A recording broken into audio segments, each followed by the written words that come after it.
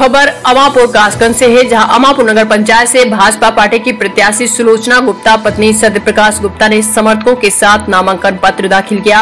अमापुर निकाय चुनाव में अध्यक्ष पद के लिए स्वर्गीय सत्यप्रकाश गुप्ता की पत्नी समाज सेविका सुलोचना गुप्ता को भारतीय जनता पार्टी ने अपना प्रत्याशी घोषित किया है। सोमवार को नामांकन प्रक्रिया के आखिरी दिन सुलोचना गुप्ता ने सहावर तहसील मुख्यालय पर पहुंचकर नामांकन पत्र दाखिल किया। इससे पहले उन्होंने अपने आवास पर हवन यज्ञ का आयोजन किया। उन्होंने कहा कि विकास, शिक्षा और रोज़गार के मुद्दों को लेकर मैं चुनाव लड़ रही हूँ। नगर में और अधिक विकास हो, इसको लेकर जनता उन्हें वोट करेगी। जीतने के बाद वे नगर में विकास कार्यो को प्राथमिकता देंगे।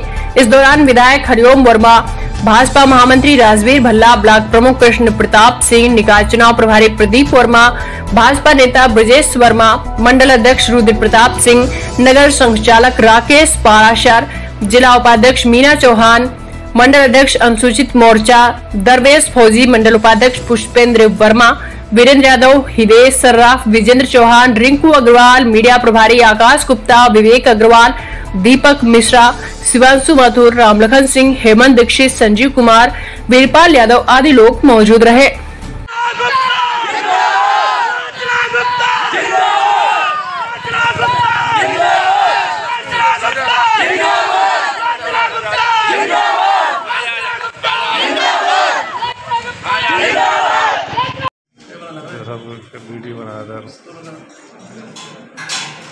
ആയിരുന്നു നമ്മുടെ ആക്സിഡന്റ്